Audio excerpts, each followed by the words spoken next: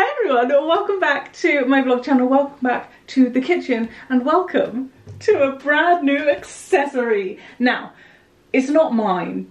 I've momentarily stolen an air fryer from my mum because my mum got one for Christmas and when I was down last, I nabbed it so I now have mum's air fryer. I thought it'd be fun to test some of the viral air fryer recipes that I've seen floating around. They always look delicious, they always look amazing, and I've always wanted to try some. So we now have an air fryer. Now, I'm not super clued up on air fryers. I don't fully know the difference between an air fryer, an oven, and a frying pan if I'm honest. I mean, okay, okay. I know the difference between a frying pan and an oven, but I feel like this is kind of in the middle because I thought initially, I thought initially air fryers weren't meant to use oil, but then in a lot of recipes people are like, oh, put some oil on them.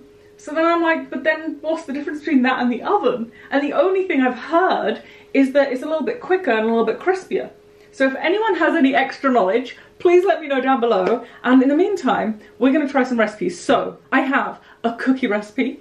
I have a Babybel coated in Doritos recipe. Oh, I'm gonna try the um, pasta crisps that I tried in the oven and they failed. So if they do work in the air fryer, there is clearly a difference because they failed in the oven. We're gonna try some pasta crisps and I think there was something else. But before we do start cooking in the air fryer, I want to talk to you about the deodorant that I'm obsessed with and have been obsessed with for about three months now, Wild. So if you haven't heard of Wild before, they are a deodorant company that specialise in plastic-free natural deodorants that are not only kind to the environment, but also kind to your skin. I personally love this deodorant because a little while ago now, I went aluminium free. We're talking maybe a year or so. And I went through so many different deodorants looking for one I loved and I did not find one until Wild. I genuinely love this deodorant so so much. And if you don't trust me they do have over 11,000 five-star reviews on Trustpilot. So I'm just saying, it's a bloomin' good deodorant. And if you stick around, I do have a discount code for you. So when you sign up to Wild, you get to choose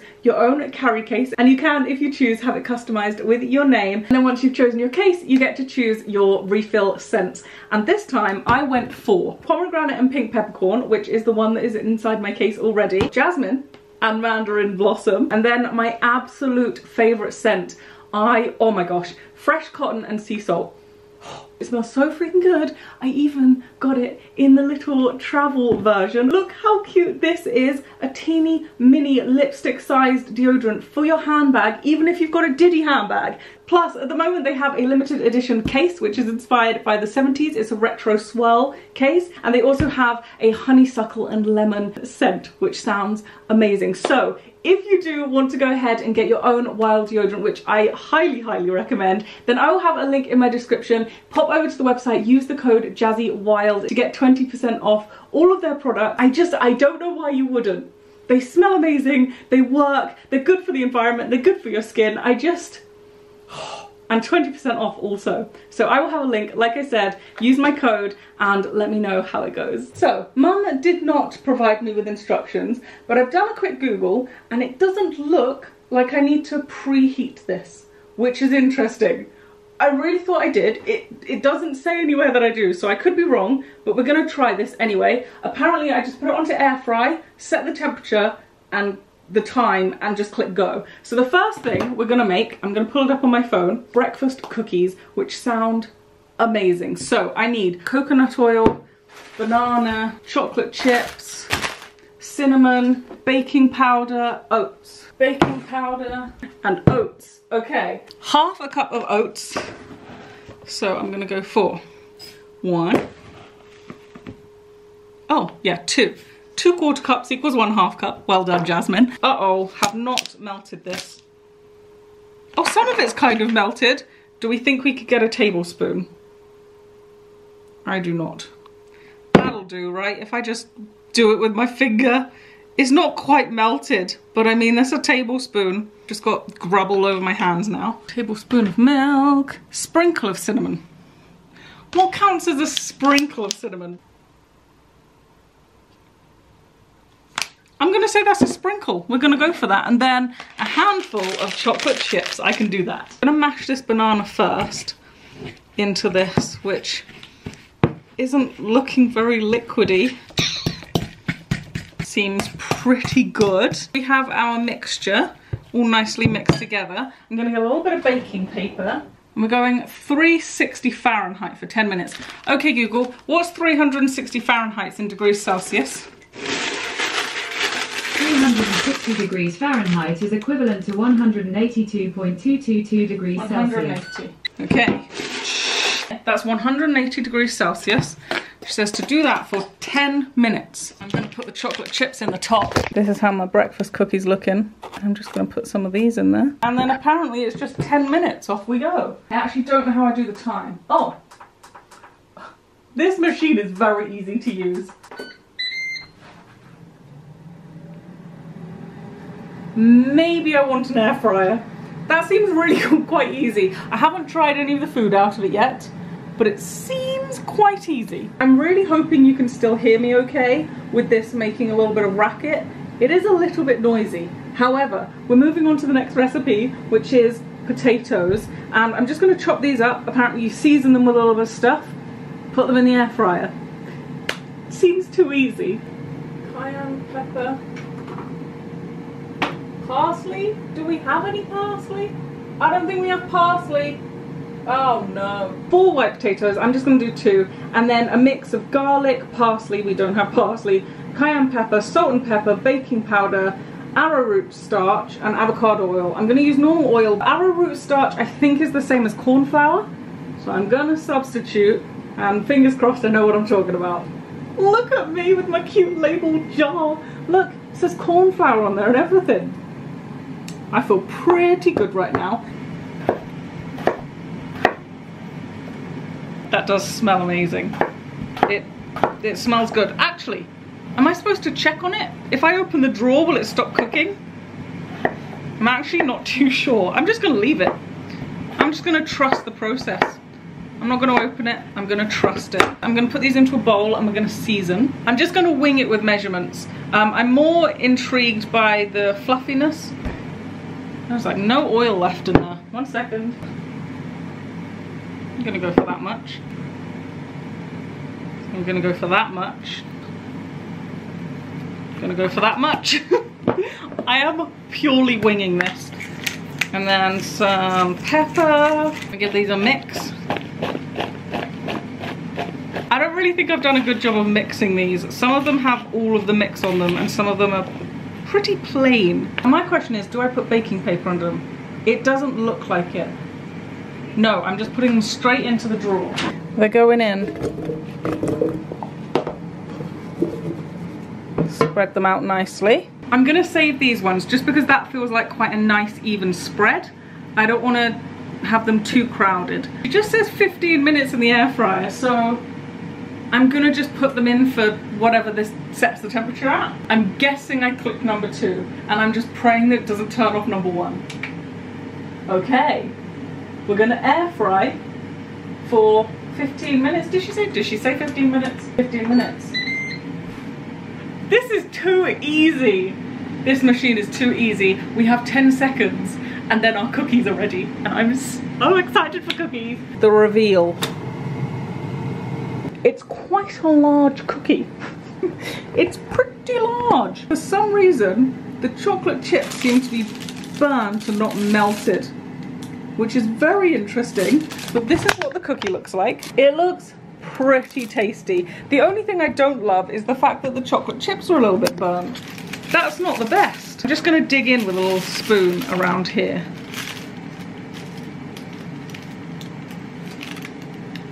Bottoms up. Mmm. Oh, it's pretty darn good. Mmm. Really, really hot. Review. Very, very easy to make. Very easy to make. Very, very easy to cook. In fact, there's not even any cleanup required. That is genius. Now, in terms of actual cookie, you can't really pick it up. It's not fully, fully cooked. If that makes sense, like, okay, it's cooked, it's hot but you can't pick it up like a normal cookie. It's sort of, well, I guess you can a, a little bit, but it's very, very crumbly. It's very soft. It's very delicious. It tastes kind of like a banana muffin. That's really tasty. I'm gonna give it a 7 out of 10. It tastes kind of like a banana muffin slash banana bread. It's quite moist and it does have a little bit of a gooey texture. But unfortunately for me, my chocolate chips sort of burnt on the top and I'm not loving the burnt taste. But I feel maybe use different chocolate chips, might be a little bit better. Maybe spread the recipe out a little bit more, might cook better. I'm gonna pull this out to check it because I don't know if they're too hot and maybe burning. So I'm hoping that it just pauses it if I open this. Just paused it. They're looking good. I might give them a little rumble. I mean, this thing's kind of great. I feel like I started this video not understanding the obsession with an air fryer. I'm slowly getting there because it's a little genius, isn't it? Right, my potatoes are ready. I've also, in the meantime, put on some pasta to make pasta, like pasta crisps, but also I just quickly Googled making the pasta crisps and it said preheat your air fryer. So apparently air fryers do require preheating. And then I looked up the Ninja how to preheat and it said, just turn it on for roughly two to three minutes. I didn't do that. So maybe the cookie would have come out better if it had two minutes to preheat. I'm not too sure, but the potatoes are done. So we're gonna worry about that for now. Let's see how they look. Oh, are you kidding? they look amazing, but, and it's a big but, are they cooked in the middle? Hello, Hello. you wanna come try some of my food? Nick's home. I think we need to buy an air fryer. Is it really good? Mmm. Right, what else you got me? That's literally potatoes into a bowl, toss around with some flavouring. How long did it take? 10 minutes. We'll try some of this cookie. What? It's banana cookie. Oh, that's some good stuff. I think I may be converted to the air fryer life. And I see, I see why people like air fryers. It seems, maybe it's just these two recipes, but it seems like you shove stuff in and magic happens. The next recipe I'm going to be trying is pasta crisps. So basically turning pasta into little crisps in the air fryer. Now, I don't know if you remember, I don't know if you saw it, but I did a vlog. It was quite a while ago now. I did another vlog and I tried to make pasta crisps, but I put them in the oven because we don't have an air fryer. And they didn't work. They were super hard to chomp down on. They were really, really bad. So we're gonna see how well this goes. Just went to use our grated cheese. Guess what? The pot's empty. Not running low, empty. Anybody want to guess who put this back in the cupboard after they'd finished it? Ta-da!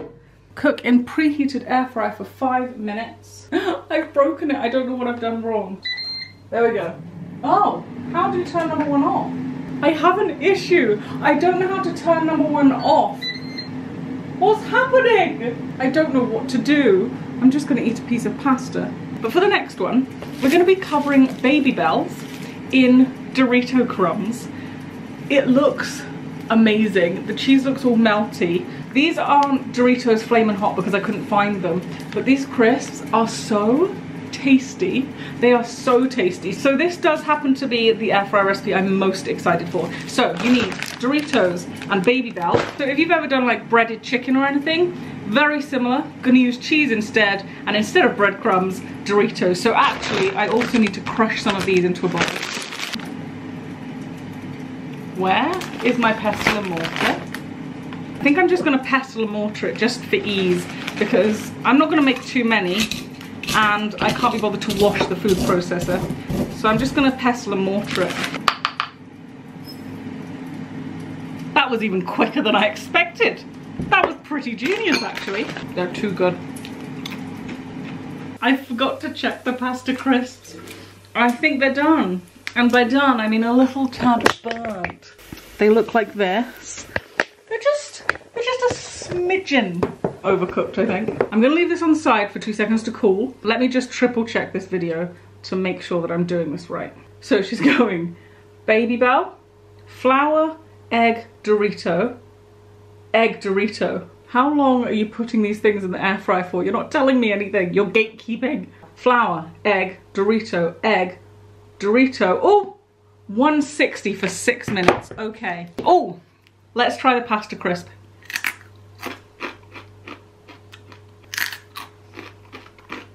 I don't like it.